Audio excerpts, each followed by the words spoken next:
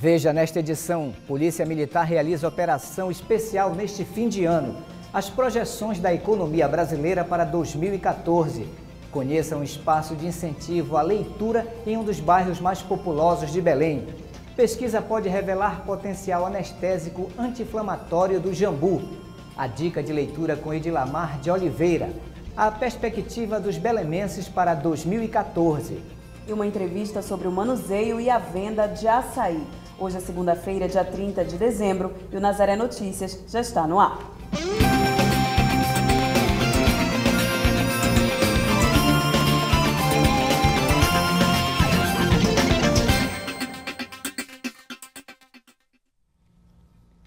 Depois do Natal e com a proximidade à virada do ano, muita gente já deixou Belém para aproveitar as festas em outros municípios paraenses. Na capital, as ruas ficam mais desertas e a atenção com a segurança deve ser redobrada. Por isso, a Polícia Militar reforçou o efetivo. Na primeira reportagem da edição de hoje, você vai ver como se prevenir dos assaltos.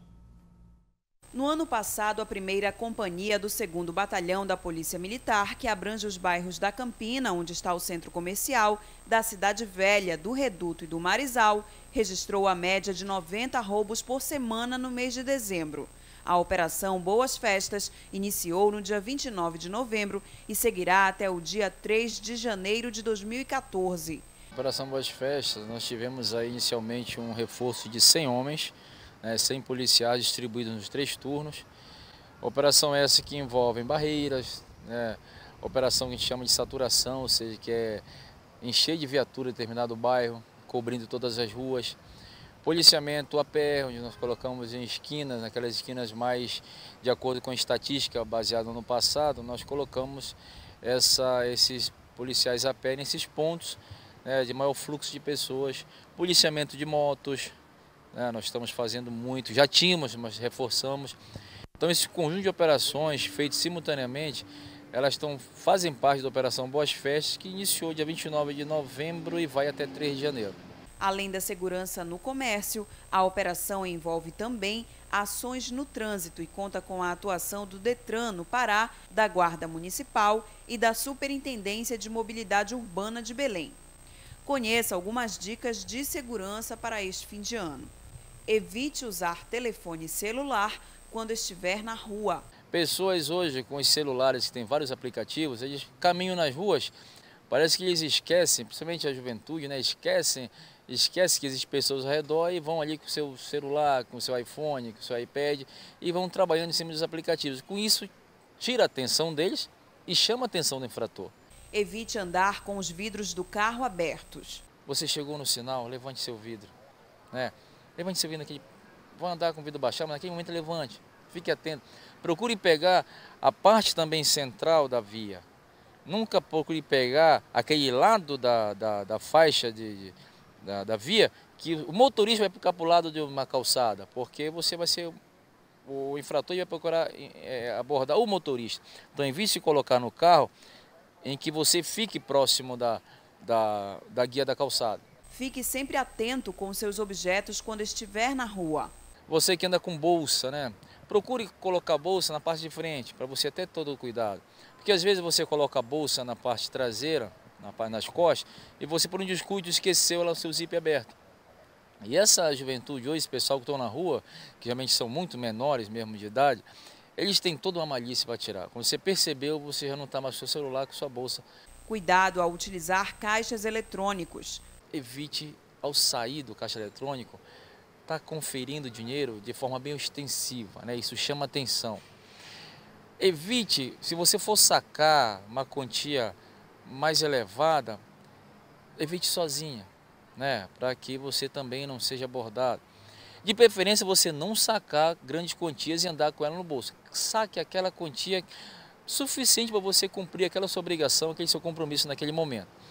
Evite à noite, porque à noite, é, é, quem olha, eu sou infrator, olha ali uma pessoa indo no caixa eletrônico à noite. Com certeza o infrator não vai pensar que você está indo pagar contas no caixa eletrônico. Ele, com certeza você entra no caixa eletrônico a partir do final do expediente, ele vai ter certeza que você está sacando dinheiro.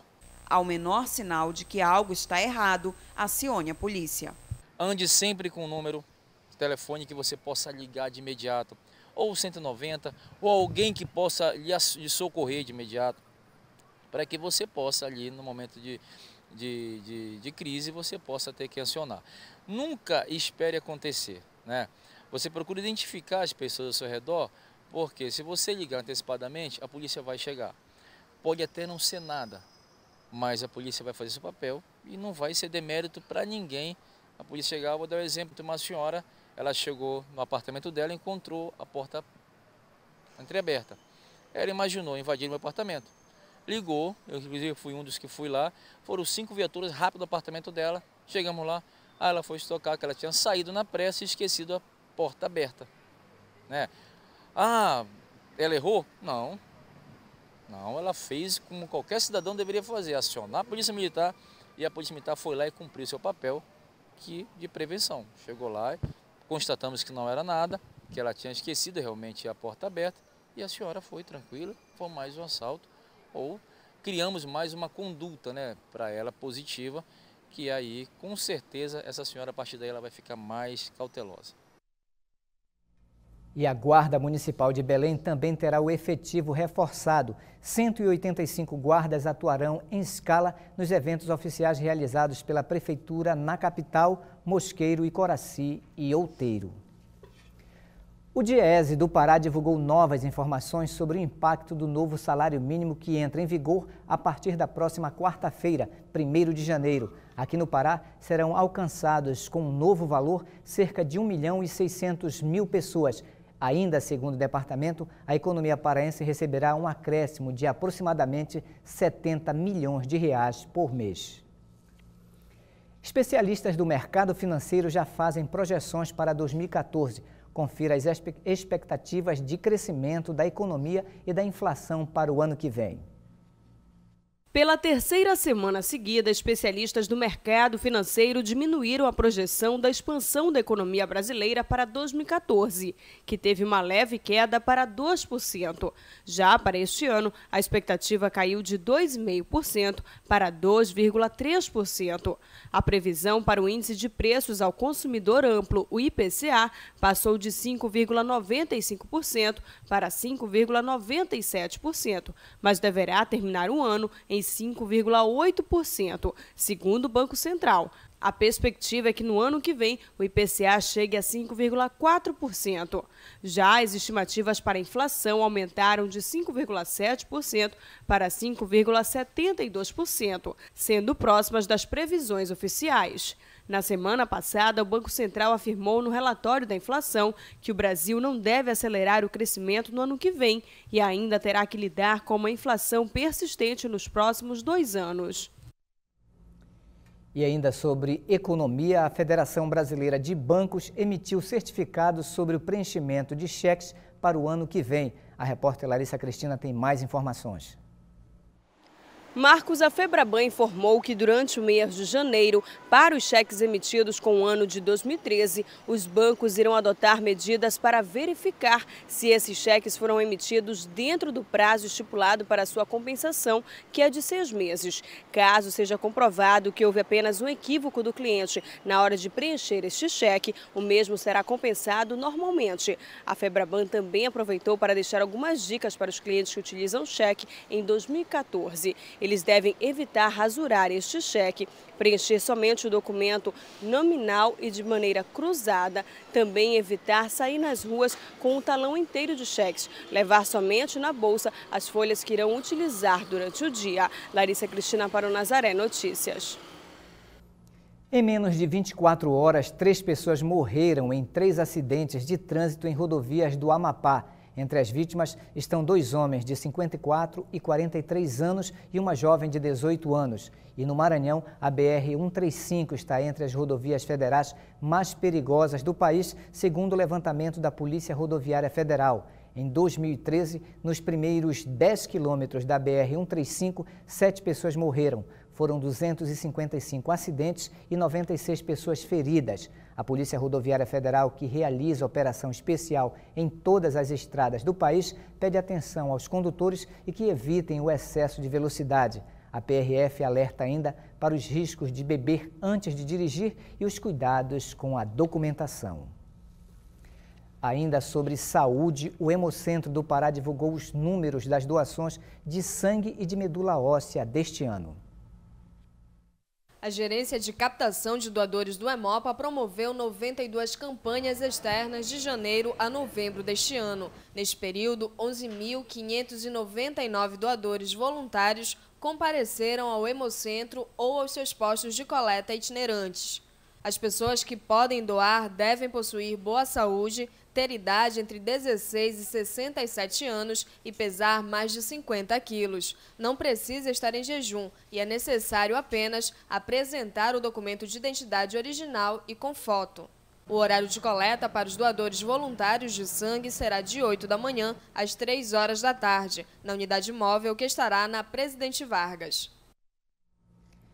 Nesse fim de semana, a Associação dos Vendedores Artesanais de Açaí de Belém e a Secretaria Municipal de Economia promoveram um evento para reforçar a importância do manuseio correto e do consumo de açaí saudável. No nosso ao vivo de hoje, a repórter Patrícia Nascimento conversa com um representante da associação para falar sobre os resultados do encontro e as normas sanitárias para a venda do produto. Patrícia. Isso mesmo, Marcos. A gente está conversando aqui com o Heron, que ele é inclusive é, oficineiro, né, orienta os outros batedores de açaí a como realizar adequadamente o processo do branqueamento, que é um processo de esterilização do açaí. Antes de nós conversarmos, come, começarmos essa entrevista, a gente lembra que você pode participar pelo 4006-9211, enviando sua pergunta. Você fala com o pessoal da nossa central de atendimento e a gente responde aqui ao vivo. Heron, muito obrigado por essa entrevista, pela sua participação aqui conosco no Nazaré Notícias. Eu queria que você começasse explicando o que é mais importante para se ter esse açaí saudável, que foi o tema do Festival de Açaí, que encerrou ontem né, aqui em Belém. Isso, Patrícia. Boa tarde. Sou o Heron, manipulador artesanal de açaí. E o foco do festival, Patrícia, foi justamente tentar esclarecer à população o que é um açaí saudável, né? os procedimentos que nós devemos adotar para que esse açaí se torne um açaí saudável. Eu me lembro que no passado só o americano tomava, bem dizer, um açaí saudável. Hoje não, nós já temos a técnica que vai desde o peneiramento, tá, com a catação, lavagem em três águas, depois ele passa por 20 minutos no cloro, depois a gente retira o excesso do cloro, em seguida nós fazemos o branqueamento o branqueamento ele elimina a contaminação da doença de Chaga, reduz salmonelas e coliformes fecais e elimina também a hepatite, tá? Então são procedimentos que a gente deve adotar, inclusive está previsto num decreto do governo do estado, tá entendendo, esses procedimentos, para se tornar um açaí ficar saudável, né?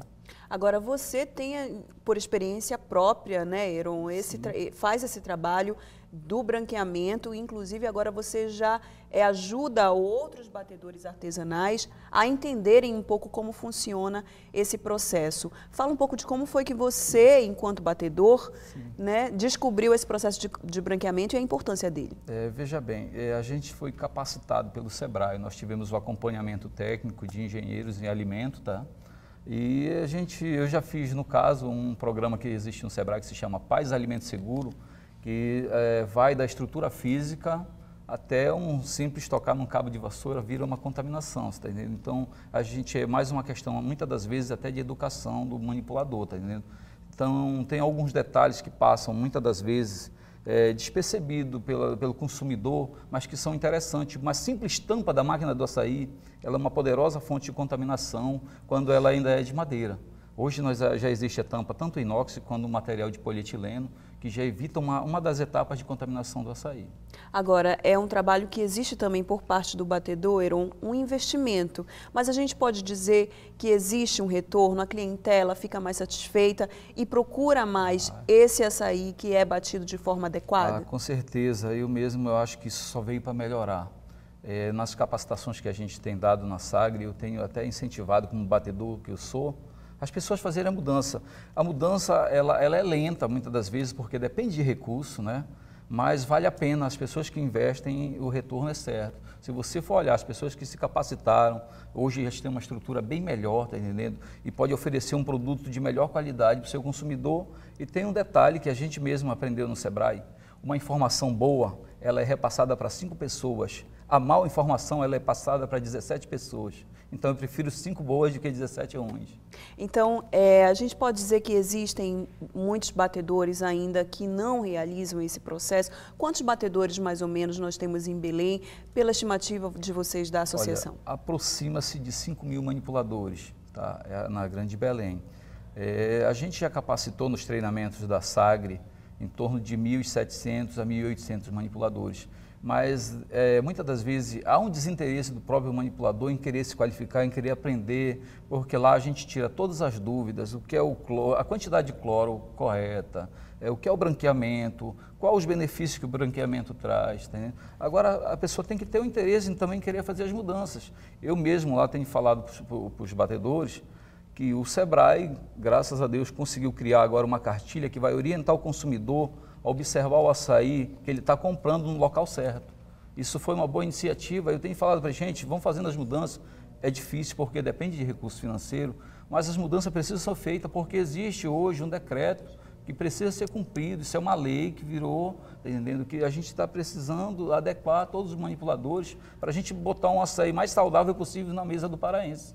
Agora, Heron, é, o açaí ele vem de diversos polos aqui do estado do Pará o batedor se preocupa em escolher um desses determinados polos? Quais são os critérios que vocês utilizam para escolher a origem do açaí? É, veja bem, é, no meu caso, eu costumo trabalhar demais com açaí da ilha, porque é um açaí que eu sinto nele que é um açaí mais, mais puro, mas o pessoal tem uma preocupação a mais na hora de manipular esse açaí. Ele não é muito batido, tá entendendo? Então, é, muitas das vezes também o manipulador ele tem que procurar o seu público-alvo, tá? Para ele, porque tem vários lá, lá, a feira ela oscila como se fosse uma bolsa de valores e tem vários preços e várias qualidades de açaí. Então o manipulador ele tem que tentar procurar o melhor fruto possível, né? Tá certo. Botar um açaí de qualidade. Tá certo, Heron. A gente continua conversando no próximo bloco. A gente lembra você que está em casa que você pode participar da nossa entrevista pelo 4006-9211. Marcos, é com você. A Secretaria Municipal de Esporte, Juventude e Lazer de Belém divulgou o resultado dos projetos aprovados na seleção da Lei 7.850 de incentivo ao esporte Guilherme Paraense. Ao todo, 177 projetos se enquadram no edital de seleção 2013 e 2014. Os responsáveis devem comparecer à sede da CEGEL, localizada na aldeia amazônica, com documento oficial com foto e certificado para obtenção de incentivo fiscal. A lista dos classificados pode ser acessada no site da Prefeitura de Belém pelo endereço www.belém.pa.gov.br. As bibliotecas públicas são locais de divulgação e de estímulo à leitura. Aqui em Belém, o espaço cultural Nossa Biblioteca pretende estimular cada vez mais a leitura junto às crianças do bairro do Guamá, um dos bairros mais populosos da cidade. O Bar é um bicho muito fedorento, mas. Lucas está lendo a história do ABC do Zoológico, um dos livros que ele mais gosta. Aos 10 anos, ele adora frequentar a biblioteca. Gosto de ler esses livros, mas eu, eu, eu, eu gosto mais de ler um, um, um livro que tem aqui, a nossa biblioteca, como é chamado este espaço localizado no bairro do Guamá, em Belém, incentiva a leitura. Com acervo variado entre livros didáticos, enciclopédias, revistas, gibis e contos infantis, o lugar atrai sempre novos adeptos. Eu gosto de ler, fazer violão, o círculo de leitura, bem bacana. Criado há 35 anos, é mantido até hoje por voluntários e parceiros que contribuem com doações de material. No início, o espaço surgiu com a missão de auxiliar as pesquisas escolares e emprestar livros para a comunidade. Mas com o passar do tempo, a nossa biblioteca se expandiu e virou um verdadeiro espaço cultural, que promove atividades lúdicas e de lazer para todos os públicos, inclusive para as crianças. Isso, a gente monta estratégias para atrair a garotada, né, para que eles possam conhecer e se deparar com a leitura o que tem funcionado muito. Nós realizamos oficinas de teatro, de música, de violão, tem oficinas de natação, artes marciais. Então a ideia é atrair essa garotada toda para que elas possam também ser apresentadas à biblioteca. E elas participam dessas atividades de promoção, de mediação de leitura.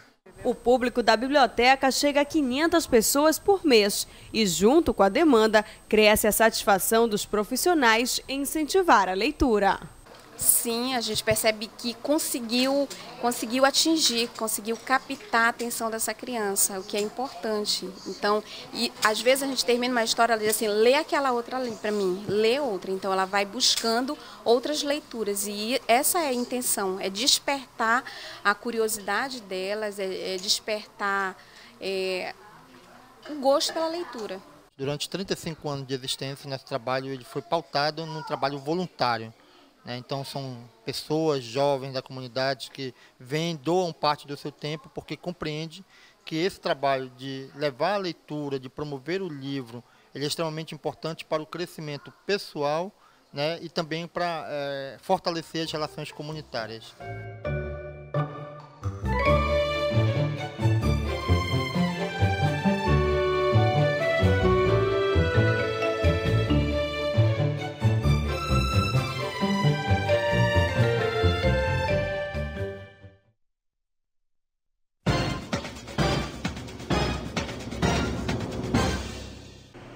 Dica de leitura, nesse momento, vai para a direção, para o gênero infanto-juvenil. Eu indicaria O Menino Astronauta, do escritor Daniel da Rocha Leite, que tem uma linguagem poética muito bonita e é um convite a qualquer criança a viajar na imaginação, viajar pelo infinito das estrelas. Também indicaria Lendas Amazônicas, da professora Nazaré Melo. Ela reconta aquelas histórias do Irapuru, de como, como surgiram as estrelas, o Deus Sol, o dia, a noite, o vagalume. Então, ela reconta os as nossas lendas amazônicas com uma linguagem acessível, uma linguagem interessante e imagens que toda criança gosta de admirar, de ficar sonhando com essas com essa visão. É, o livro é um livro muito bem feito, muito bem escrito e muito bem desenhado. Então eu indicaria as lendas amazônicas da professora Nazaré Melo e o menino astronauta do Daniel Leite, que dispensa maiores comentários, sobretudo a, a, os desenhos que são de Maciste Costa, que é outro que também dispensa comentários.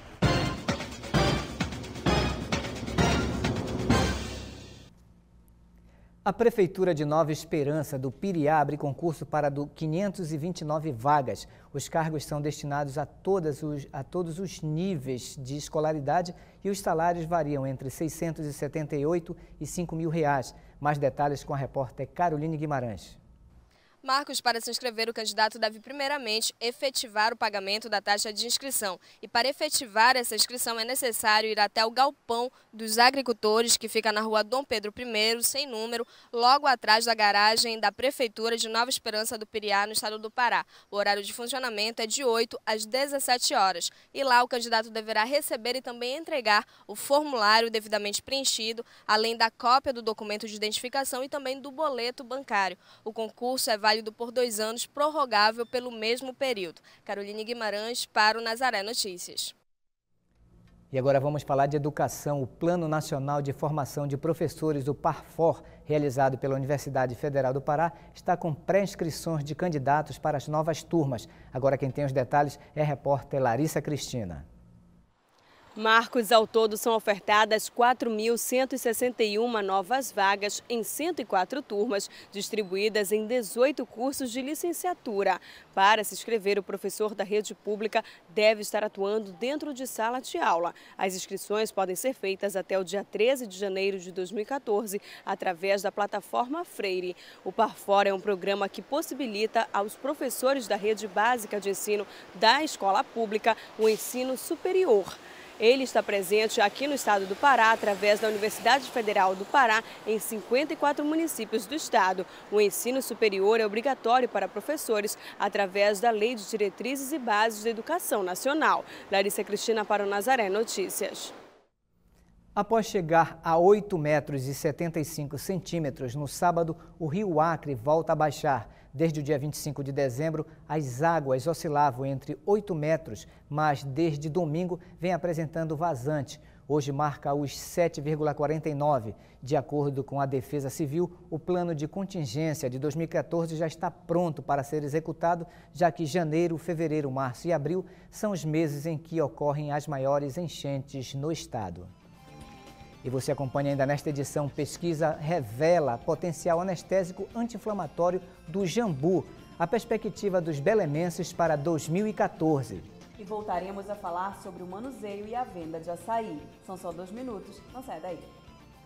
Voltamos com o Nazaré Notícias falando sobre o Banco de Leite da Santa Casa do Pará, que está em campanha para arrecadação. A preocupação é com a grande redução do estoque.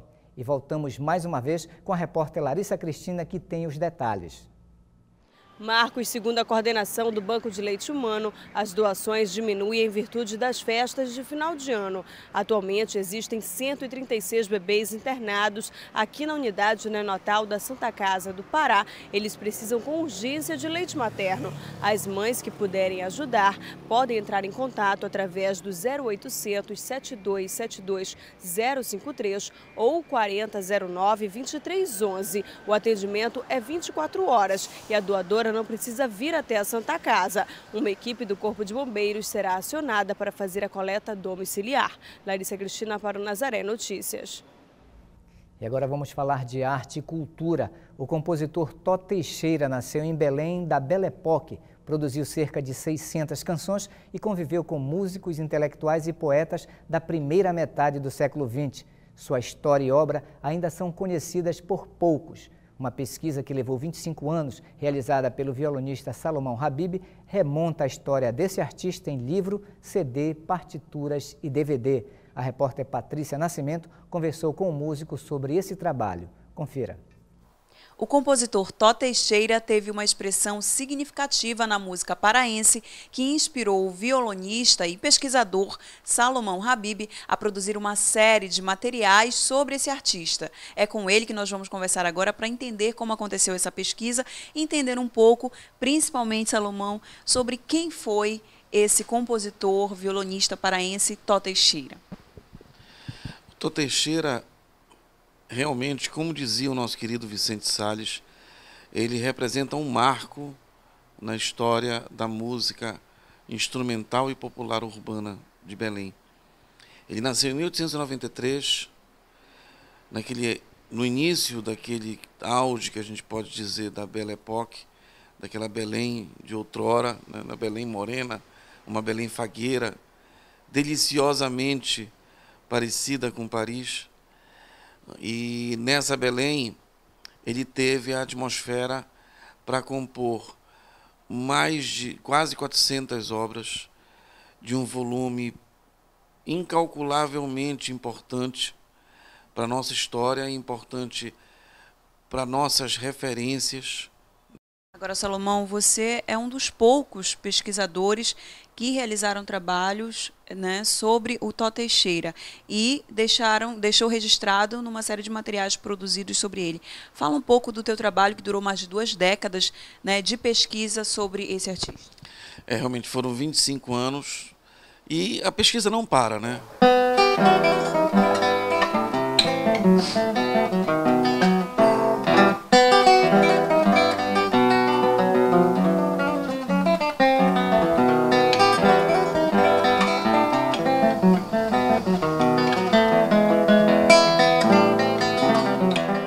Sinto feliz, me sinto é, é, é, muito satisfeito por contribuir neste momento com a, a, a cultura brasileira, trazendo, tirando da gaveta, tirando do baú, um compositor tão importante que fala sobre a história do violão no Pará, porque esse livro que foi lançado agora é o primeiro livro sobre a história do violão no Pará, que quase 300 páginas que eu, que eu escrevi com muito carinho e com muita atenção para que não houvesse nenhum tipo de falha.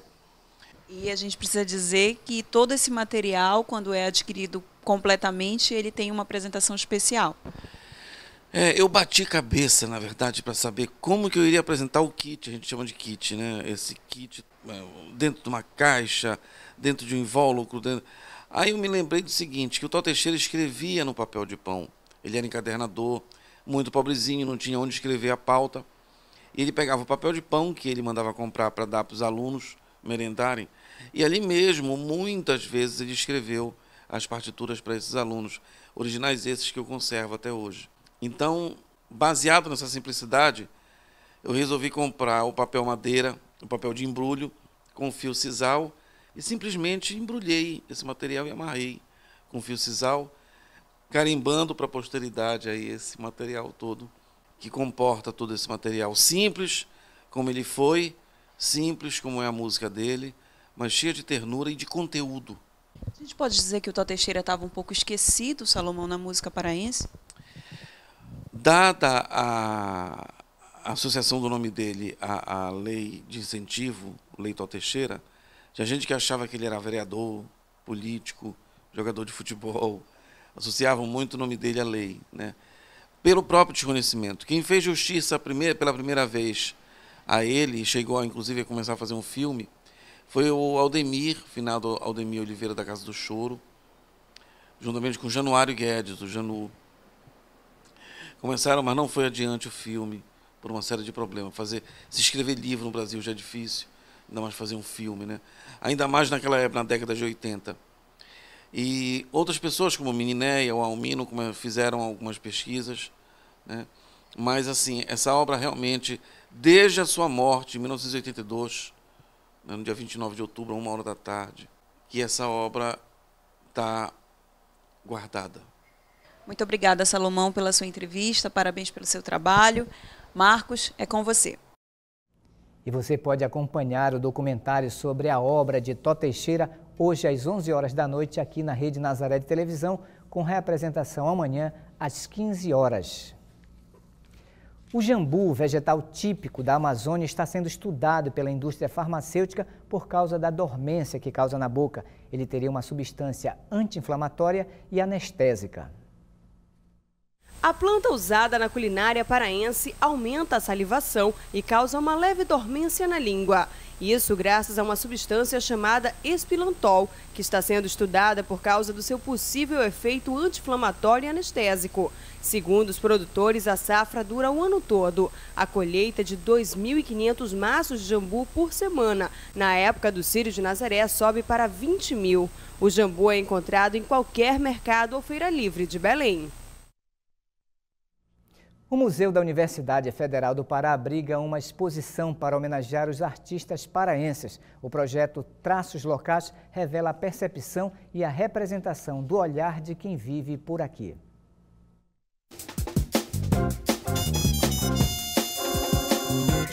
O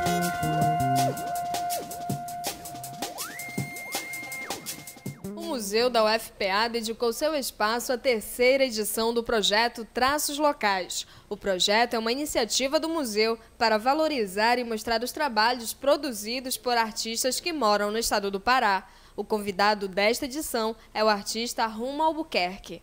É um projeto que visa que a gente faça, eh, eh, desenvolva obras ou traga alguma obra, ou tente adequar a obra a um diálogo com a arquitetura do prédio, ou com essa, essa aura que existe aqui do prédio é, de museu, né?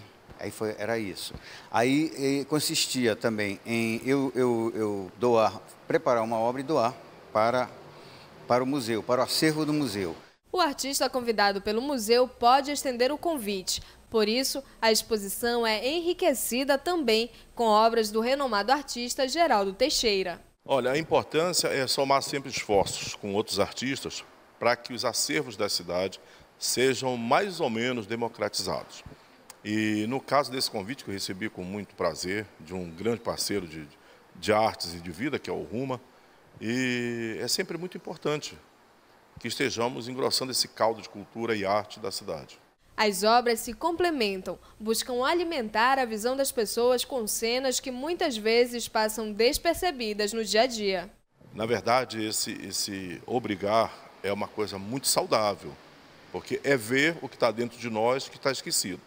Então, no, no, momento que a gente busca tantos psicólogos, tantos, tantos especialistas da mente humana, por causa dos nossos esquecimentos, eu acho que provocar o olhar do, do espectador, que é o que me interessa, é, é essa provocação para ver o que está do lado dele. Todo o trabalho de um artista, ele, ele reside nessa memória, nesse arcabouço que ele vai ao longo da vida acumulando. Sem esse acúmulo de coisas, você não tem referências.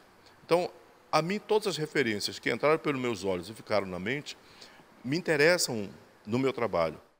Um dos objetivos da exposição Traços Locais é de que haja uma interação, de que as obras dos artistas convidados dialoguem com o espaço do museu.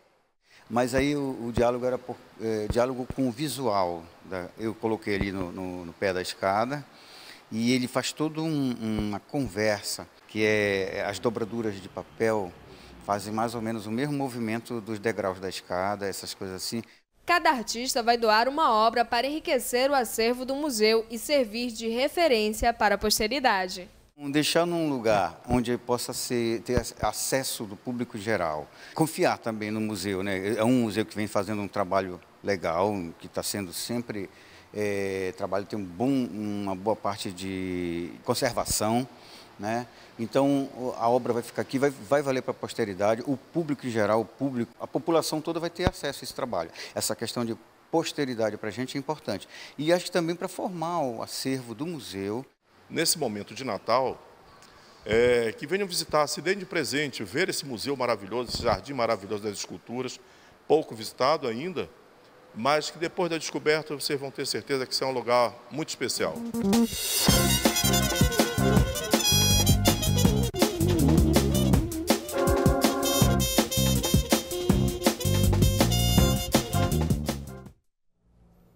E voltamos com a repórter Patrícia Nascimento, que está com Heron Machado, diretor da Associação dos Vendedores Artesanais de Açaí de Belém.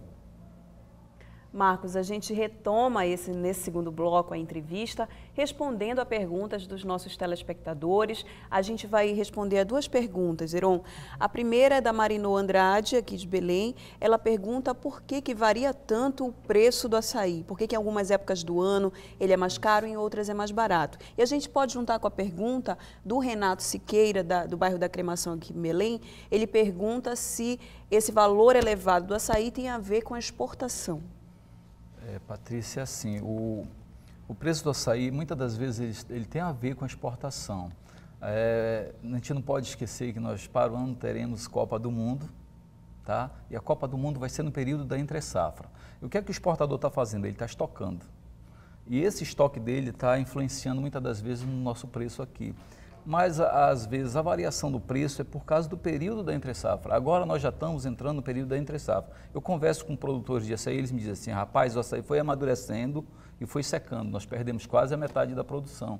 Então isso também vem acarretar no preço final, tá entendendo? Só que esse ano realmente começou bem mais cedo, esse preço ficar meio pesado para a gente, tanto para o manipulador como para o consumidor, tá? Então tem a ver com essa questão da safra e da entre-safra? Isso tem, tem a ver. Por isso que nesse período pode observar que de janeiro para frente os preços vão, vão subindo bastante. Por exemplo, ano passado, uma saca de açaí custou 600 reais. Para você tirar o dinheiro, ou você vai fazer muito fino, ou você vai ter que elevar bastante o preço para você compensar. É, é para quem é viciado, infelizmente acontece isso porque nós ainda não temos assim um, um período que vá atender a necessidade de todos os manipuladores. Aí o preço fica alto. Enquanto mais diminui, mais o preço eleva.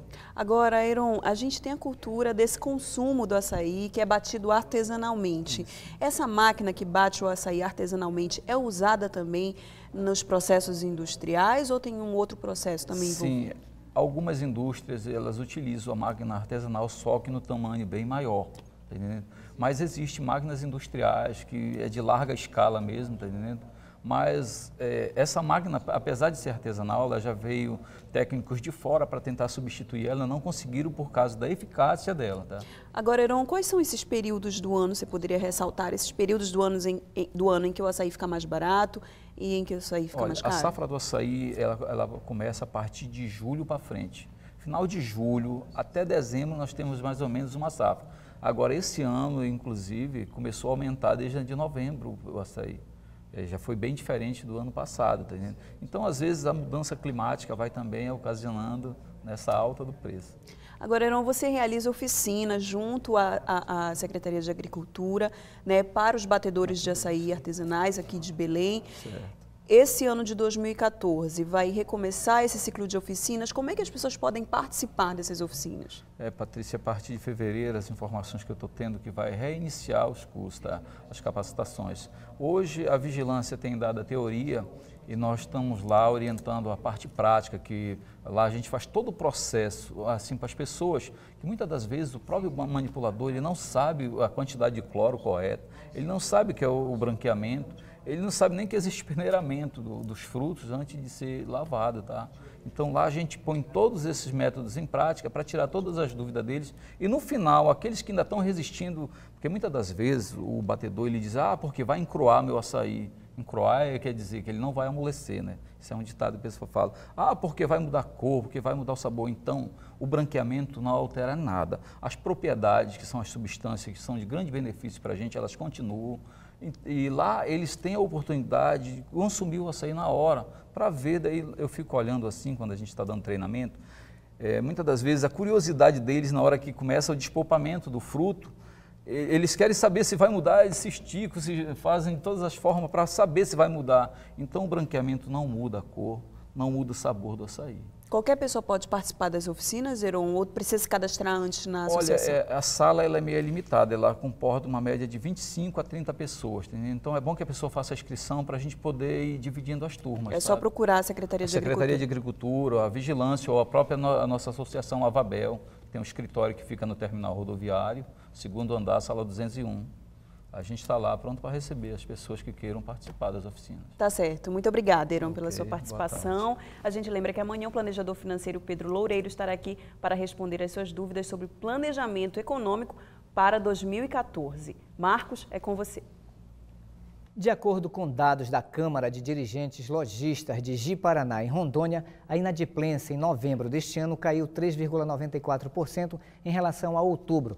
Das 31.316 pessoas consultadas, mais de 23 mil estão sem restrições. Na cidade, quase 3 mil pessoas saíram da lista de serviço de proteção ao crédito.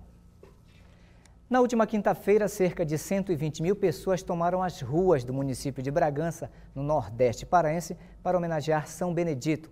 A pérola do Caeté, como é chamada a cidade, completou 400 anos de história. E você acompanha agora uma reportagem especial sobre a devoção ao santo e a festa da Marujada. Bragança se enche de cores, ritmos e fitas. A rotina do Bragantino fica diferente no dia de homenagens a São Benedito.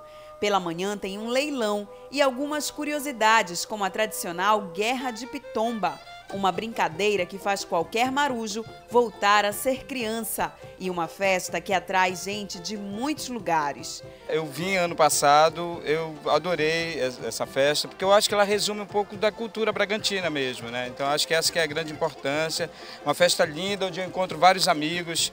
Tem marujo, maruja e até marujinhos. Vestir o filho é sinal de agradecimento a São Benedito. Eu acho que é bonito, né? bonito, achei importante vestir ele, sair marujo no pai dele. Para o ano eu vou sair também. A cidade de Bragança comemorou este ano 400 anos de história e a Marujada 215 anos. Quem está à frente da Irmandade há mais de 20 anos tem muita história para contar.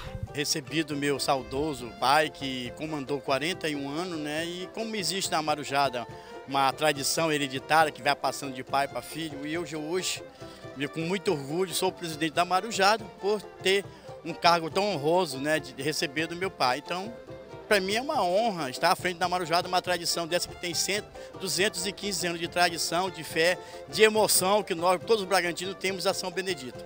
A festa da Marujada é marcada pelas diversas manifestações culturais que acontecem em Bragança no mês de dezembro e motivada pela devoção a São Benedito. Durante o ano, as chamadas comitivas percorrem vários municípios do Pará e chegam até a outros estados, levando a imagem do santo. No retorno das comitivas, a Igreja de Bragança celebra o resultado do trabalho de evangelização. A paróquia é, tem trabalhado na, na programação religiosa e ao mesmo tempo também em parceria com a Irmandade da Marujada, no sentido da, da valorização e da preservação da continuidade desse patrimônio cultural que é a marujada. Né? Então tem, tem que ter sempre esse cuidado para que a, o sentido original possa continuar a, no, nos dias de hoje. No dia da festa, apenas os homens das comitivas participam do momento chamado de louvação, no interior da igreja.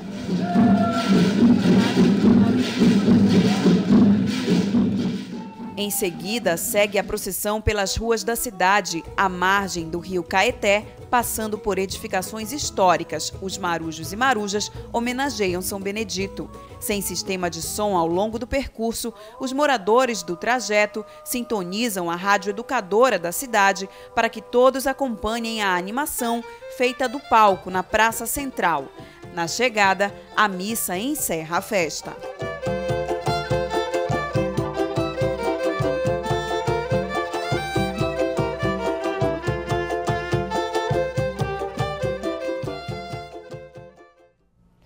Hoje a TV Nazaré leva até você um resumo das principais notícias deste ano, cultura, política e religião. Tudo no Aconteceu 2013, que vai ao ar hoje às 9 horas da noite, aqui na Rede Nazaré de Televisão. Não perca! E essas foram as notícias de hoje. Para dar sugestões de reportagens, ligue para nossa central de atendimento no número 4006-9211. Se você quiser rever nossos vídeos, acesse o portal Nazaré, www.fundacionazaré.com.br ou acesse a nossa página no Facebook. Nazaré Notícias fica por aqui, nos encontraremos amanhã na próxima edição. Até lá!